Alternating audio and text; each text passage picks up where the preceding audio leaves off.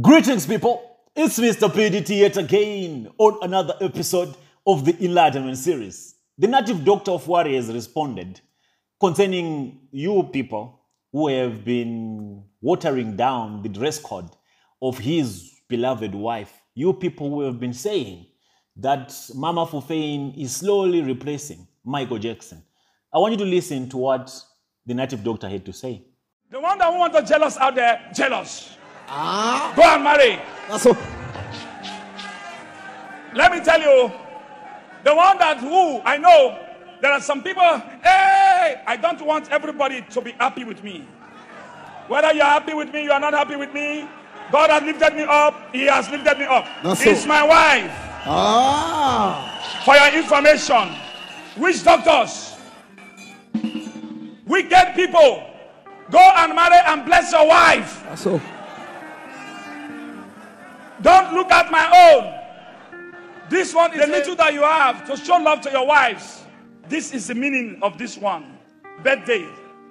Don't go and talk, hey, hey, Jeremiah, like this. Why you give uh, 55 million naira to now your wife?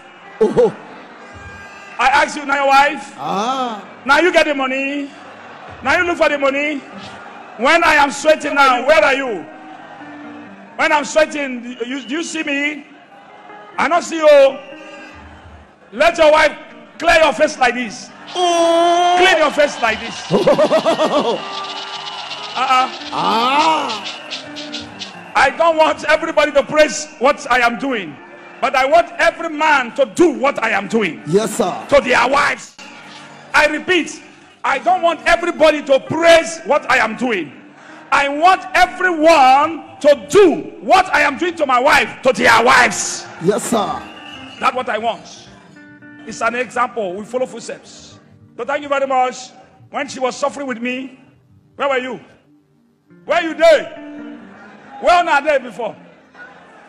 So anything I give to her, the other day I bought car for her. Why you bought, why you bought car for her? Why you bought car for her? Show off, show off, show off. You self go and show up to, with your wife. Let us see. I want to see your own. I want to see your own. Please.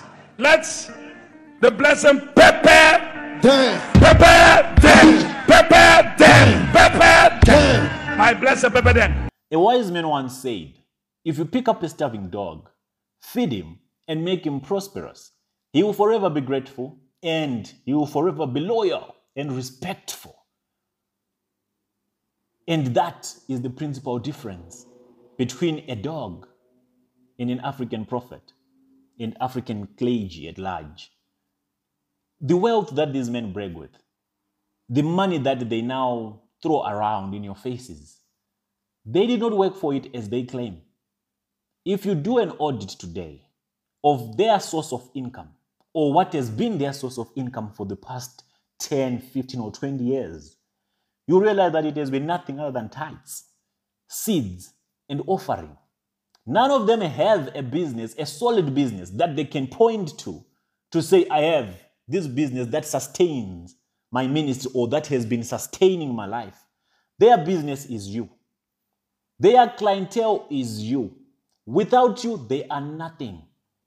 If one day you all wake up, like if we could do a social experiment, if you can all wake up, you that pay tithe and seeds and offerings, if one day you just decide or you just wake up and say, this month and the month to come, or in the next three months, we are not paying nothing to an African native doctor. If you just make up your mind, if you just want to try something to just test the waters, you realize that there will be nothing overnight. Nothing. You would have reduced them to zero. You are their source of income. Without you, they are nothing. But what amused me is now they come and brag in front of you. They come and shine with the money that you have been giving them. They now feel like they are demigods with your empowerment. Without you, they could have not been who they are, or they could not have gotten to where they are today. Without you, my people, Jeremiah Omoto could not afford that Michael Jackson attire that he bought for his wife in that bird's cage that she was carrying. He couldn't afford it. Now he speaks like he's a billionaire, but all that money came from you, my people. But now he talks like he runs some mega business in Nigeria. I've been working. Where were you when my wife was standing with me in poverty? To think that the work that they've been doing is collecting your seeds and offering and lying to you that they are hearing from God is just appalling. It's just disturbing.